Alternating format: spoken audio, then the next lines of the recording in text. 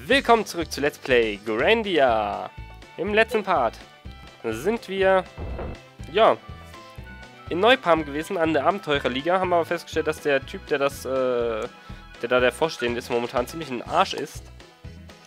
Und uns nichts geben will. Und deswegen, ja, haben wir drauf gepfiffen. Ah ja, das wollte ich eigentlich machen. Man kann sich ausruhen oder man kann sich ausruhen mit Essen. Und dann eben hier diese Gespräche zu haben. Ich finde das Essen von Neupalm nicht so lecker. Was meinst du, Justin? Ja, der Dampfer hatte nur Konserven. Ich bin nur froh, dass das Essen hier scharf ist. Ha, richtig. Manchmal hat uns der Captain aber gutes frisch gebackenes Brot gegeben. Frisch gebackenes Brot? Huch, wieso habe ich denn nie welches gekriegt? Ich wusste nichts vom frischen Brot. Natürlich wusstest du es nicht, Justin, weil du zu lange geschlafen hast. Bis du aufgestanden bist, Justin, war das Brot schon kalt. Warum hast du mich dann nicht gewickt? Okay, mehr ist hier nicht. Ja, aber wenn ich dich bitten würde, mich zu wecken, müsste ich deinen Du kannst nichts ohne mich Spruch hören. Wie auch immer, das, Wasser, das ist Wasser unter der Brücke. Da können wir nichts tun. Ja, wenn man so in neue Städte geht, mache ich das gerne, dass ich einfach mal immer mit den Leuten quatsch. Aber dann kommt da was ganz Lustiges bei raus. Ähm, na verdammt. Ich glaube, ich gebe hier gerade mein ganzes Geld dafür aus. Ich möchte speichern. Danke.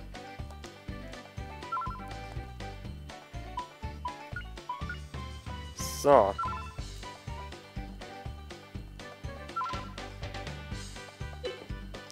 Gut. Dann gehen wir jetzt wieder zurück zur Merillestraße, wo wir beim letzten Mal schon waren. Wir haben nur ein Mana-Ei gefunden und uns dann noch ein bisschen mit Gegengift eindecken wollen, deswegen bin ich wieder zurückgegangen. Ähm, jetzt kann Justin auch den Feuerzauber, das heißt, er könnte rein theoretisch bald die Explosionszauber lernen. So, mal gucken. Können wir gleich mal hier ähm, unter unseren Techniken gucken. Ah, schaut euch das an. Da unten haben wir jetzt einen äh, Schlag mit dem Schwert und dem Feuer. Und einen Schlag mit Schwert, Erde und Feuer. Und das sind zwei richtig gute Angriffe. Also zumindest der untere, der ist ein ziemlich geiler Angriff. Ähm, und ja, hier haben wir die ganzen Explosionsdinger. Brenne. Dann haben wir da noch einen mit 7 Erde und 6 Feuer. 3 Erde, 4 Feuer. 10, 10. 20, 18. Also es wird äh, sich ordentlich füllen und wie gesagt, man hat ja auch noch die ganzen anderen Zauber. Und die können ja alle sich irgendwie mit, einer, mit einem anderen Element verbinden. So Vierer-Dinger gibt es aber nicht, also immer nur zwei zusammen. Also Eis, Blitz, Wald und was war das letzte Explosion. Die drei Sachen gibt es halt immer. Ähm, ja, und hier machen wir gleich mal einen Puffy-Wurf wieder.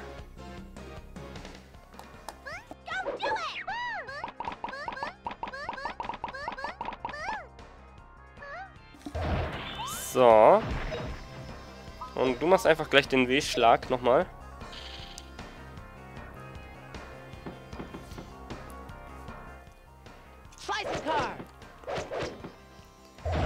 So, die nächste Attacke, die Justin lernt, ist ziemlich praktisch. Das ist ja jetzt alles äh, ziemlich gleich. Das erste war der, der V-Schlag.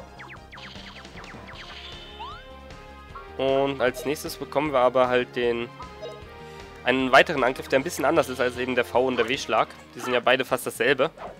Nur der eine ein bisschen stärker und verbraucht ein bisschen mehr. Der nächste Angriff, den Justin lernt, eben mit der Axt und dem Stock, äh, der ist ein bisschen anders und deswegen auch sehr praktisch.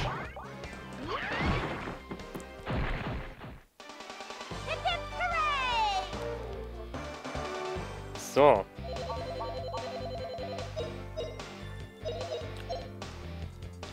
Sobald ich das Erde dann auf der höheren Stufe habe, bekomme ich einen Zauber für die Stufe 2 für die Erde.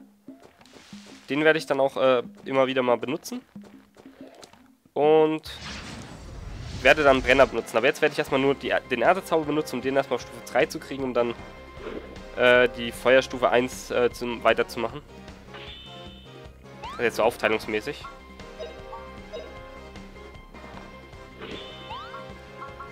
Also ich werde jetzt die ZP verwenden, um eben Graben erstmal hochzumachen.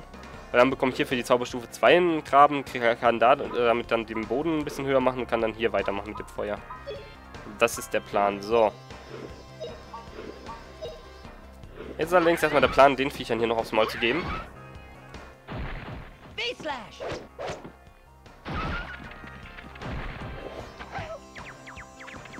So, Stu kriegt nochmal hier zwei Angriffe ab. Das aber auch nicht das Problem. Wir graben uns weiter ein.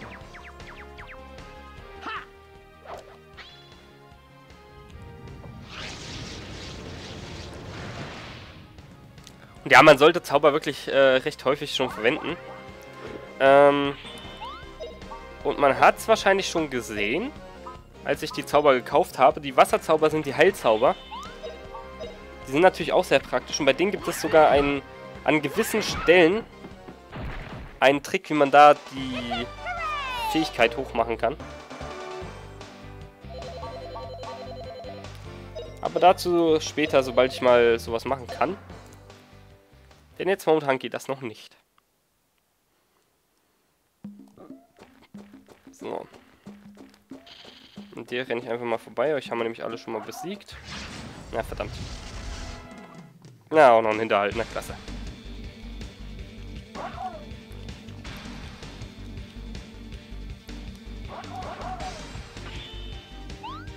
So.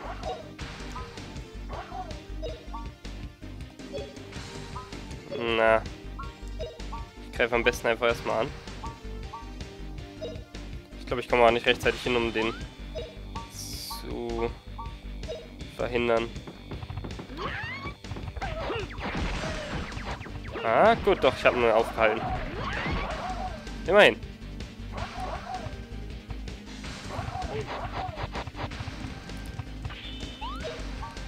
Ist auch was Gutes. Manchmal kriegt man nämlich nur einen Schlag ab statt den zweien. Weil sie einfach zu schnell angreifen. Man hat so eine gewisse äh, Unverletzlichkeit nach einem Treffer.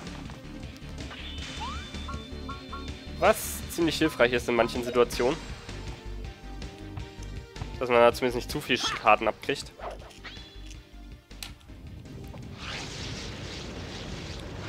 Aber das ist natürlich auch nicht selbstverständlich. So. Verteidigung hoch. Und zu erledigt jetzt das Ding, oder auch nicht? Doch jetzt. Sehr schön. Es war schon angeschlagen. Insofern hat es sich ausgemacht, dass der erste Pfeil voll daneben ging.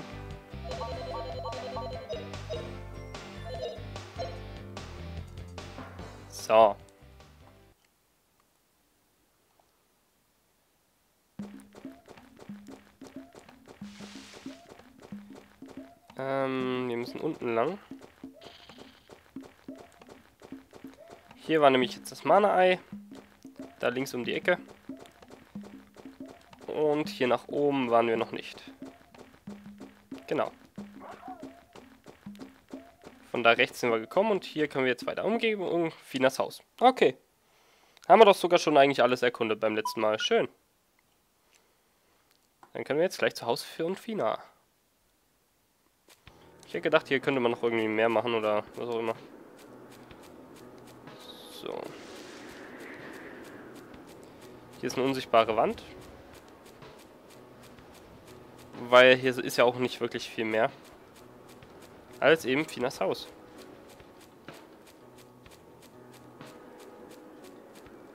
Was ist das denn? Hat Fina das gemacht? Ein Zaun.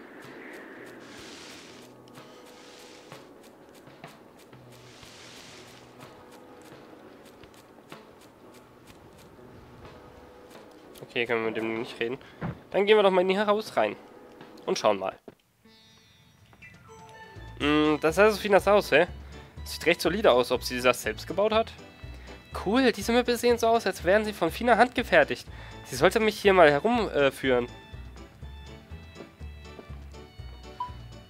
so, wir können uns erstmal wieder heilen. Und einen Tipp holen. Schwächen decken. Nutzt man stets dieselben Waffen, so verbessern sich die Fertigkeiten, äh, Fertigkeitenwerte nur für die jeweiligen Waffen. Die Stärke nimmt hierfür zu, aber die anderen Werte verbessern sich nicht. Das kann zu Schwächen führen.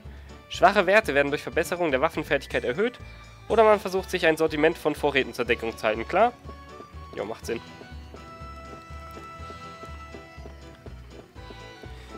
So.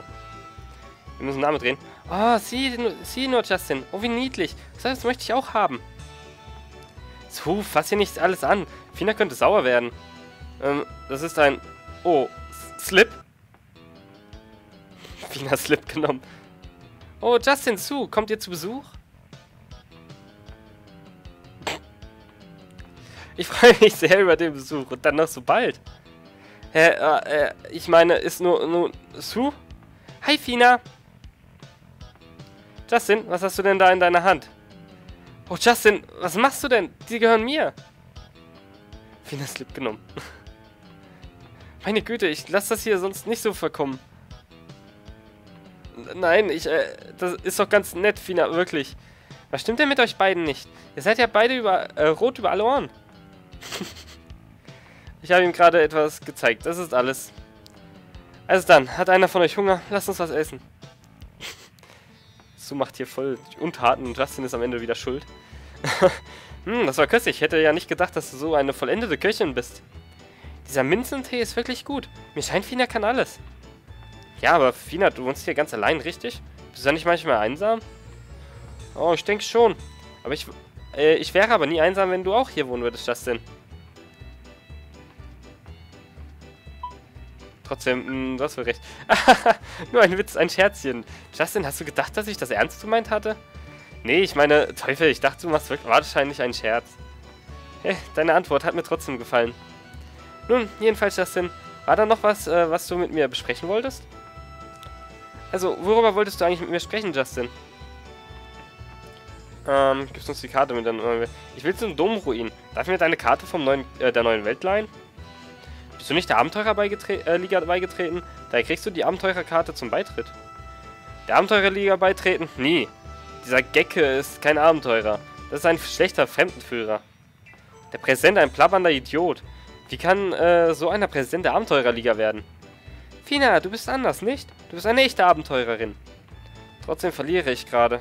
Der Regeln der Abenteurerliga besagen, dass ich die Abenteurerkarte nicht an Nichtmitglieder ausleihen darf.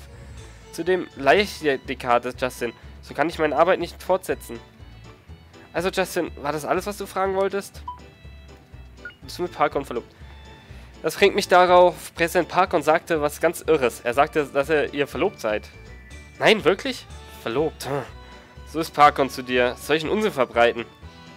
Egal, was ich sagte, Parkon hörte mir einfach nicht zu. Wie ärgerlich. Deshalb bin ich direkt hergekommen. Ich wollte Parkon nicht treffen. Ich wollte dich wirklich äh, rumführen. Aha, jetzt verstehe ich. Kam mir doch gleich irgendwie komisch vor. Jetzt wird alles klar, was, Justin? Also, Justin, war das alles, was du fragen wolltest?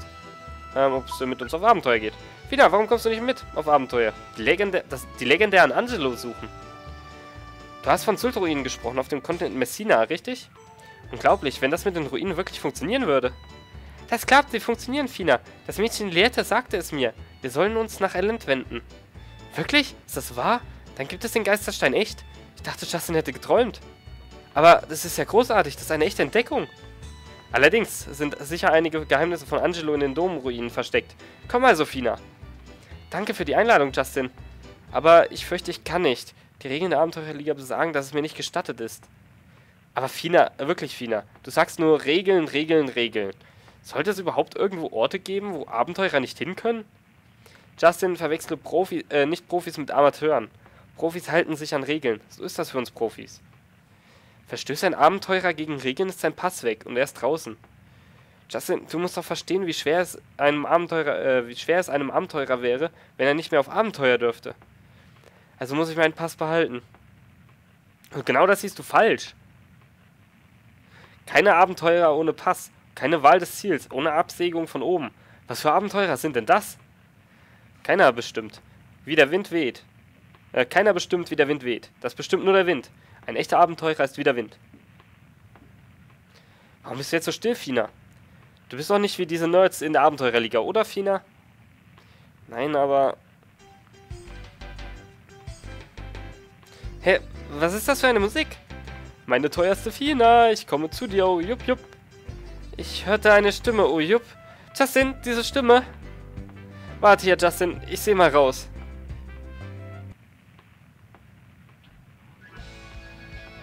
Was? La! Ja, oder was auch immer das gerade war. Das waren Is oder A's, L's, keine Ahnung. Justin, das war Fina! Ähm, ja, das war Fina.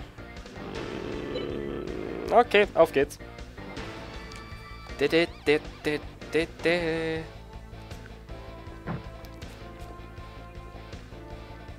Hä? Wo ist Fina? Justin, guck dort drüben. Geh nach Hause, Parkon. Ich hab dir doch gesagt, dass du nie wieder hierher kommen sollst. Schon vergessen? Oh, heute ist die Nacht, in der unsere Herzen sich vereinen. Oh, jupp. Fina, wenn wir erst einmal verheiratet sind, dann können wir gemeinsam als Paar unsere Unterwäsche waschen. Jupp. Wasch deine, die Unterwäsche allein, Parkon. Ich habe keine Absicht, dich zu heiraten. Wie muss ich sagen? Oh, nur nicht so schüchtern, oh Jupp. Ich weiß, dass du ganz zurück nach mir bist, Fina. Oh Jupp. Jedenfalls heiratest du mich nicht, dann ziehe ich dir deinen Abenteurerpass ein. So, da, oh Jupp. Und wenn ich das mache, dann ist Schluss mit Abenteuern, oh Jupp, Jupp. Parkon, Parkon, das sollte nichts damit zu tun haben, ob wir heiraten oder nicht. Parkon, du bist ein Dünnbett... Dünnbrettbohrer, was ist das für ein Wort? Wie hast du ein übles Inneres? Äh, geht das nicht in deinen Kopf? Was machst du denn hier? In Finas Haus, jupp. Bist du ihr Freund oder sowas? Ich? Ich bin nur, äh, naja, ich bin ihr Freund, denke ich. Nein, warte mal. Eigentlich ist das in mein... Mein Verlobter. Wir werden heiraten. wie, sie, wie sie alle auf einmal so zur Seite springen. Guckt euch die, das Gesicht von Parkon an. ähm, oh, äh, Fina? Seht wir müssen unsere Geschichten abstimmen. Wenn nicht, dann kriegen wir Parkon nie dazu aufzugeben, was? Ich liebe ihn, Parkon. Er hat mir vor einem Jahr einen Antrag gemacht. Ich kann dich leider nicht heiraten. Jawohl, recht hat sie. Lass deine Pfoten von meinem Mädel. Tut mir leid, dass ich das nie erwähnt habe, Parkon. Sicher findest du jemand anders, um glücklich zu sein. Zu schade, teuerste Fina, dass dieser alberne Junge dich beansprucht. Weißt du was? Ich helfe dir, ojup. Für sowas habe ich meinen Leibwächter dabei, ojup. Meister Chang, los.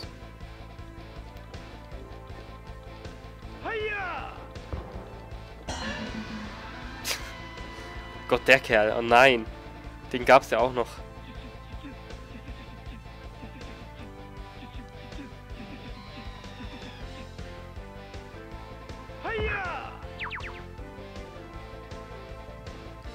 Haut erstmal Justin um. Justin! Voll auf die Ömme. Autsch, autsch. Was ist denn los? Na prima, Justin, du kommst zu dir. Oh, hat dieser Chunker mich verprügelt? Zu, wo ist Fina? Die Kerle haben sie mitgenommen. Sagen, es wird jetzt eine Hochzeit geben. Justin, was tun wir also? Ich hab's zu. Wir werden Fina retten. Damit kommt Parko nicht durch. Krümel genau, meine Meinung. Auf geht's. Auf nach Neupalm. Also ein paar Wörter sind echt hier merkwürdig. Dünnbrettbohrer, Krümel genau. Was? meine Güte. So. Ja. Justin hat sich ja ordentlich einen aufs Maul geben lassen von dem komischen Kerl. Voll ausgenockt und die Chance genutzt, um Fina zu entführen. Aber nicht mit uns. Wir gehen hinterher. Wäre doch gelacht, wenn wir Fina nicht retten könnten. So. Die Frage ist jetzt, wo Parkons Haus ist. Ich vermute mal, das war irgendwo da rechts, ne?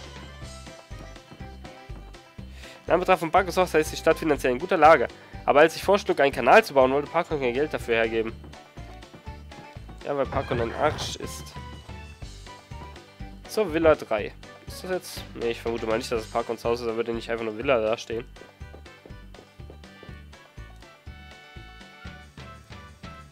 Wo ist Parkons Haus? Hm. Ich nehme mal nicht, dass einer hiervon ist. Wahrscheinlich einfach hier oben weiter. Nee.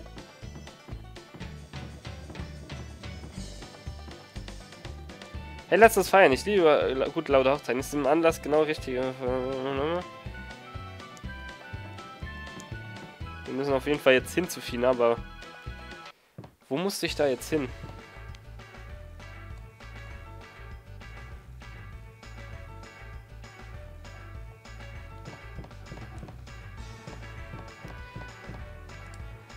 Ah, wo war es das denn jetzt? Wo war das denn jetzt? Wo war das denn? Bar Konstanz Café. Gehen wir zur Abenteurerliga. Wahrscheinlich kriegen wir da gesagt, wo der Kerl hin ist. Was? Ich habe gehört, dass Mr. Park ein Mädchen namens Fina heiratet. Ha, wie schade. Eigentlich wollte ich Mr. Park und heiraten, um die Frau des Präsidenten der Abenteurerliga zu sein. Würde ich einen Esel heiraten. Achso.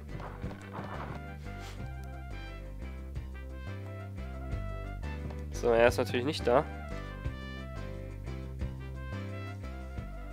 Ähm, wo war denn dann sein Haus? Ja, sie steht ja auch nicht auf Parkon. Das ist das Problem.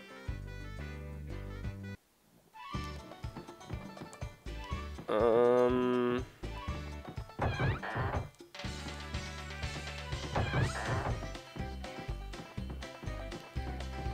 Wie komme ich denn dann jetzt zu Parkon? Haus 7? Ah, hier vielleicht. Ah ja, alles klar. Stehen sie auch schon alle. Kirche von Neupalm.